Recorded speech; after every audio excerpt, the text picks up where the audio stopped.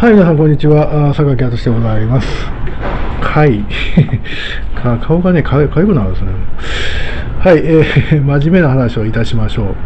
えー、9月17日の金曜日でございまして、今も5時半回りました。えー、今日もね、株価はですね、堅調でございましてですね、日経平均はプラス176円でございまして、3万500円ちょうどですね。はい、えー、バブル崩壊以来のまあ、高値は更新してないのか、まあ、でもまあ頑張ってますよ。で、えー、不況感ないですね。あの、まあ、景気悪いねんって言うてる人、私の周りには一人もいません。一人もいません。というかまあ、不動産業界ですからね、私の周りにいるのは。えー、かろうじて広告業界の人もいますけども、でも不動産関連の人が多いんで、あみんな、ええねん、ええねんとは言いませんけど、いやーって、ええーって言ってますよ。えー、あの儲かっても銀座に遊びに行けないという辛さがありますけどね、あの方々にとっては。えー、今のですね日本の不況感というのはねほぼないんですけどなぜ不況感ないかと言いますとまあ不動産業界は特別なんですけどその他の業界にもあんまりこう悲壮感が漂っていないというのは失業者が少ないからなんですね、えー、7月現在2021年7月現在の失業率はですね2.8%と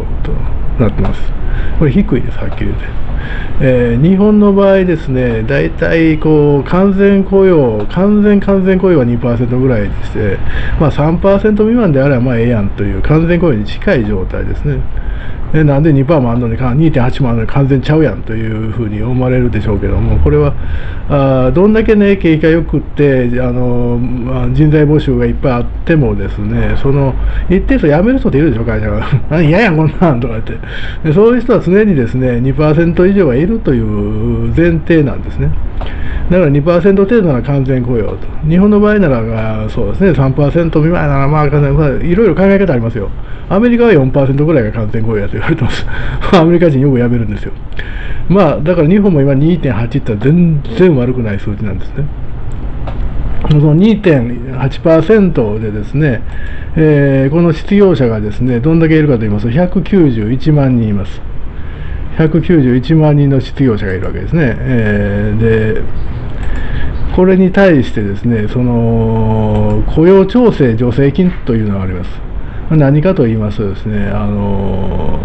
コロナでですね、こう、給料払えへんやんと。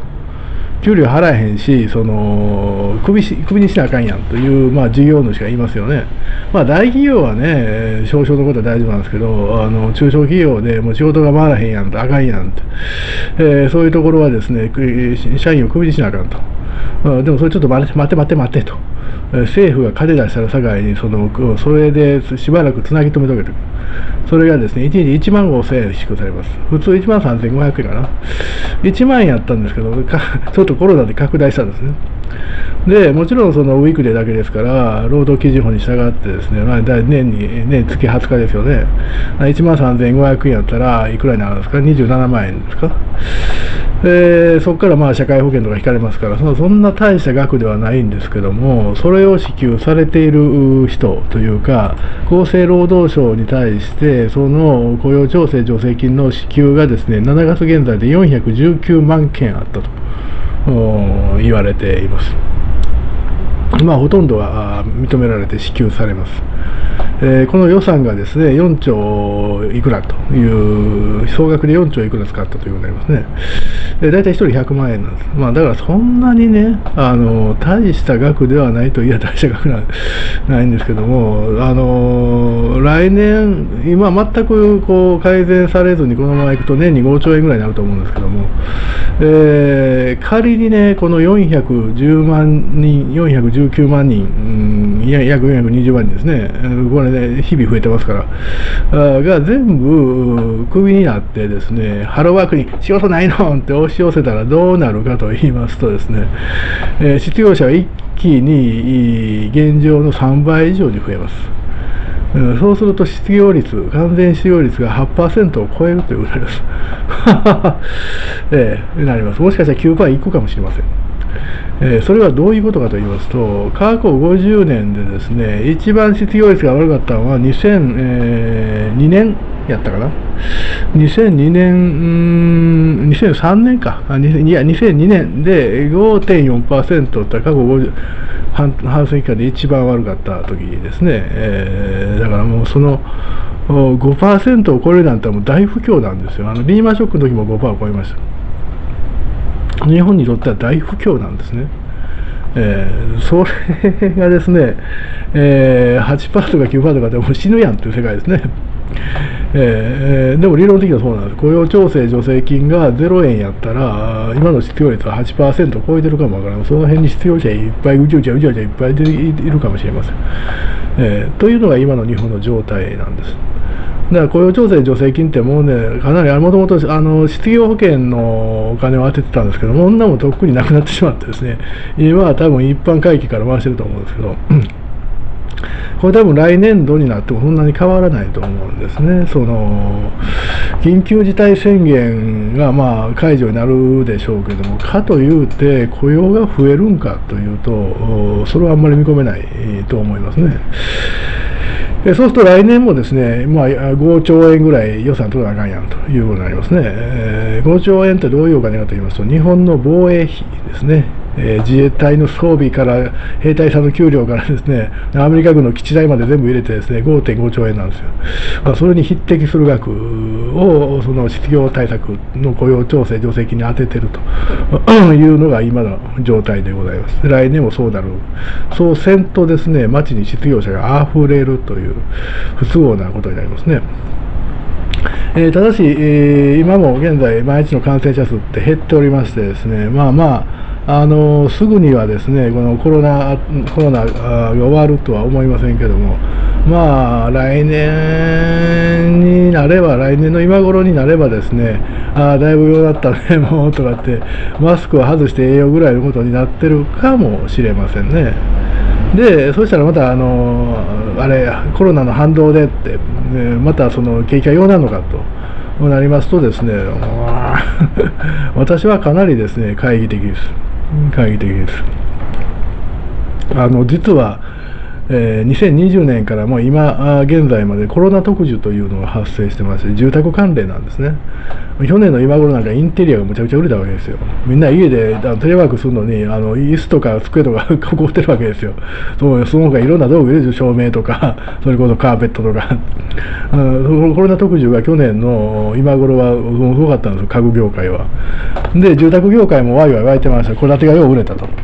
中古住宅中古のあのマンションから戸建てまでよう売れたと。まあ今も一部一部続いてます。もうそろそろ終わりですけどね、えー、もうもうもう終わってるほぼ終わってる感じがしますけど、うん、でコロナ特需がありました。でコロナが終わってですねそれがですねまた反動特需が起こるのかっていうと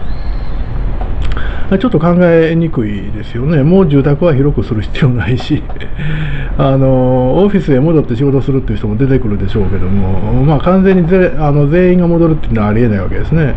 まあ、ええやん、そんな、テレワークでええやん、会議なんかそんなもん、ズームでやったらええやんっていうことになってるわけだって、それでもう回ってる、現に回ってますからね。ほなわざわざお前ら会社来んでええねんって、家におれ、みたいなことになるわけですよ。なんで今ものすごいのがオフィスの空室率なんですね。空室、うん、そうです。空室率が上がってまして。もうこれはもうかつてない不況ですね。はっきり言うて、はっきり言うて、今だからですね、ビルのオーナー連中慌ててるんですよ。やばいやばいやばい。その大きいとこはね、だんだん財閥系とかそんなの慌てませんよ。そんな、そんなところはあんまり動きませんから、あの、中小のビルのオーナーたちが慌ててますね。どないしよう、どないしよう、どないしようって、ね、中国人買うてくれへんかみたいな、そういう動きになってますね。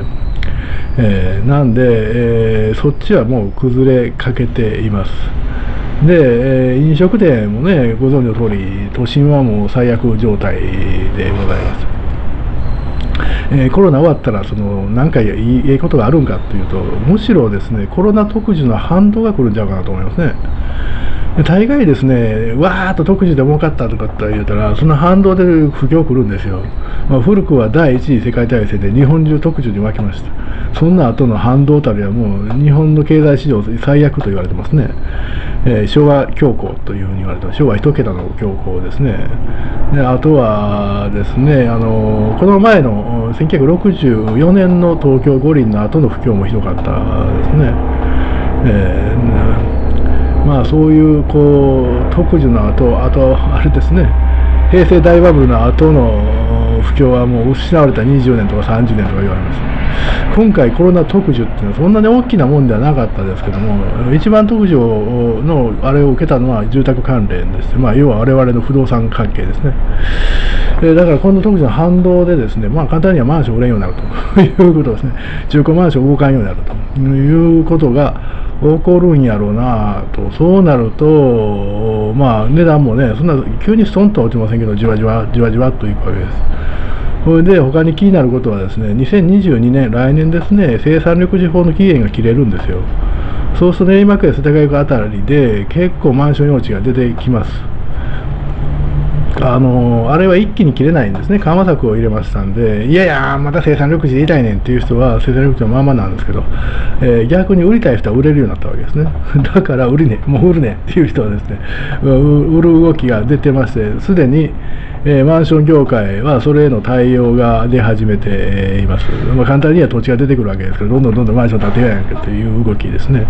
だから練馬区、世田谷区、江戸川区あたりはですね、マンション価格が下落に向かう要因が生まれるということですね。あと2023年、えー、今から1年半先ですね、1年半先。にはですね、黒田さんという方がですね、日銀総裁の期限切れになる、任期切れになります。で、まあ必ず変わるでしょう。もう2期もされてるわけですから、まあ早ければね、この選挙、総裁選の後変わるかもわかりませんけど、まあそれはわかります。で、彼が続けてきた異次元金融緩和というのはそこで一区切りになるわけですね。その後、続けるかどうか次の総裁によりますけども、次の総裁は日銀プロパー、になりそうですから、まあ、日銀プロパーになれば多少金利はつけるんちゃうかなと思います。これもマンション、不動産の下落要因ですね。えー、ですんでですね、今、あのちょっと今、我々あのコロナ特需に湧いてますけども、私の周りの連中、それから私の周りの業界、この後もしかしたらこの反動は割ときつめに来るんちゃうかなというのが今の私の見立てでございます。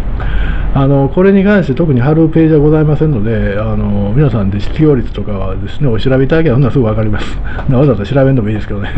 はい。ということで、実はあ水面下でですね、不況の種はいっぱいまかれてます、えー、という怖いお話でございました。はい、皆さんどうもありがとうございます。